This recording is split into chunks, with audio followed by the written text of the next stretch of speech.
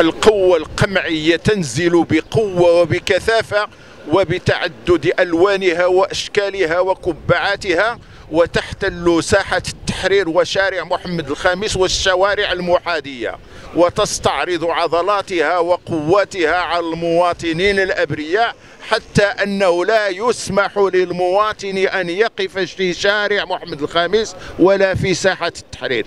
إنه الاستعمار البغيض. إنه الاستعمار البغيض. إنه الاستعمار البغيض. نحن نطالب برفع العسكرة عن الناظور وتمتيع سكان الناظور بالحرية حتى يعبروا يعبروا كباقي المدن المغربية. لماذا؟ الدار البيضاء لها الحق أن تنظم مسيرة؟ والناظور لا. أهيست هنالك عنصرية أكثر من هذه؟ إنها عنصرية مقيثة تمارسها الدولة المغربية على سكان الريف. إذا سنحاكم المغرب شكل من أشكال العنصرية. أقولها وبكل سجاعة الريف معسكر الريف مضطهد الريف لا يوجد في الخريطة السياسية للمغاربة.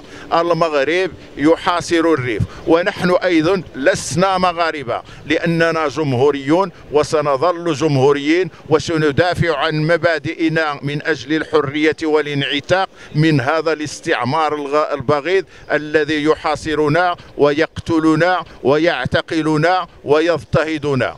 لن نركع ولن نسجد إلا لله الواحد الأحد.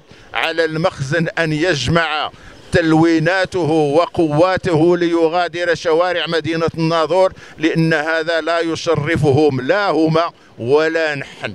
مرة أخرى أدعو إلى الحرية والديمقراطية والعدالة الاجتماعية وتحرير الريف من الاحتلال الغاشم وتأسيس الجمهورية الثانية. والسلام عليكم.